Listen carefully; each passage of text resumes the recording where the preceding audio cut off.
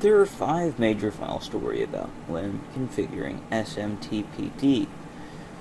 The most major one is smtpd.conf in slash etsy slash mail, and that's your main configuration file.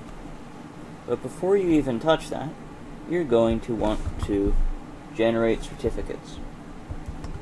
The man page provides these two lines of commands. I know it looks like three, but it's really two. And they're going to allow you to create a private and public key pair to use with your mail server. If you already have an HTTP server, you might even be able to use the keys you've used for that. But anyway, it won't do any harm for you to, to make new keys. This first command, open SSL gen RSA dash out etsy SSL private mail.example.com.key 4096 will make your private key. Mail.example.com should be replaced with your domain. This next command, open SSL rec new x509 key will request a new X509 key. This one will serve as your public key. Again, replace mail.example.com with your domain. Dash days 365 will be how long it will last for. I like to make a little note of when mine will expire just in the config file so I don't forget to upgrade my uh, certificate and I know when it expires. After that, you'll do these two lines, just chmod 600 and then those two files that you just created. This will make it read and write to uh, uh, to root access, read and write for root, and no other user. No execute, nothing else. And that'll make things pretty secure. Then you'll want to specify those new keys that you created with PKI, your domain, certificate, and then etsy slash SSL slash your domain dot cert, and the same thing with your key, PKI, your domain, key, etsy slash SSL private, your domain dot key. Just replace dread.life with whatever your domain is.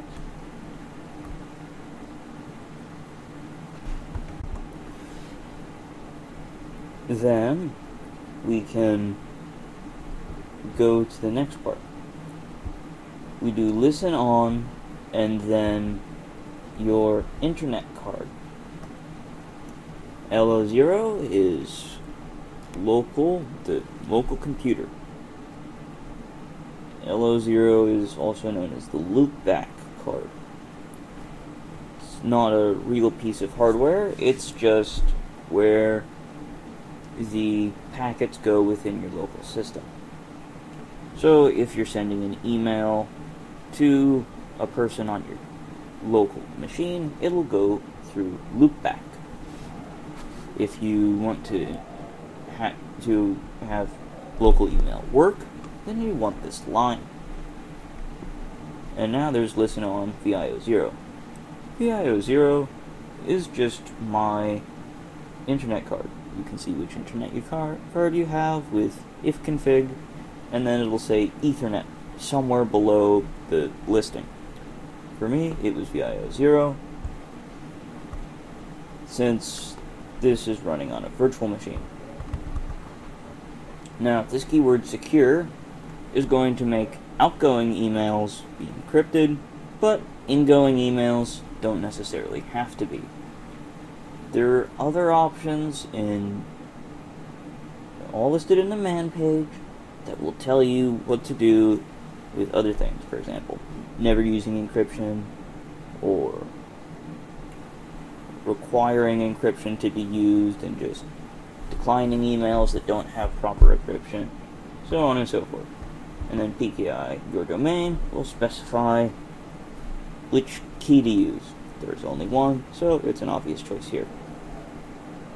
Next, table aliases, file colon slash etsy slash mail slash aliases, and the table virtuals one will map one uh, email to another.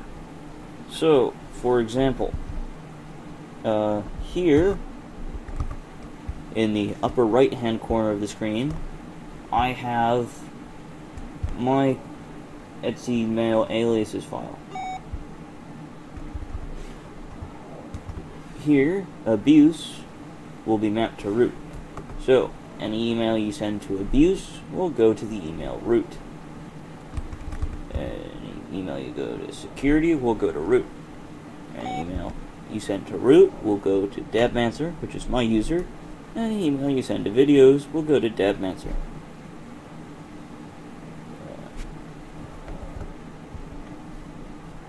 And that'll just make it so that all emails get funneled into Dabmancer. So, I don't know, I can read them because that's my user. You can put whatever sort of mapping you want in your table, and that's how the emails will go. Aliases is for local emails, or at least it's configured that way in my server. Uh, and this next file, virtuals, is for uh, emails coming in from the internet, not from the local machine. So if you send an email to Dabmancer at Dread.life or videos at Dread.life, it'll get sent to me at Dabmancer. You can send me an email at either of those addresses and it'll work.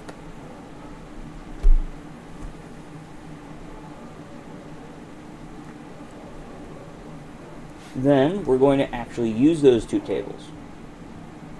Except from local for local, we'll make local emails work. So if one user on your machine sends an email to another user on your machine, it will work and it will go through all the aliases in the table aliases. And this is how you specify which table is for what.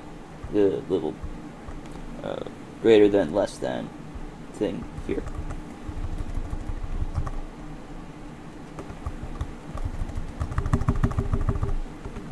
And then deliver to Mbox will put all your emails in a little file on in your home directory called Mbox. And this uh, little email client like Mail or Mutt can use directly. I prefer Mutt, it's a bit better. Uh, if you want to set up IMAP or POP, you're going to want to do delivered to LMTP instead, or any of the other various options. Though you will need a much more complicated setup than this. Then, you, I have in my configuration file to accept emails from the internet it says accept from any, which means from the internet, or even the local computer, for domain dread.life. So it'll ignore emails that were sent to the wrong domain. And then it will use the table virtuals and again deliver to Mbox. Now you could have uh, multiple domains or something else, just with a more complicated configuration. And then lastly, we have outgoing emails, except from local for any relay. You could have a different configuration line to have outgoing emails works, uh, to have outgoing emails work, but that's the simplest thing that you can do. I hope you enjoyed.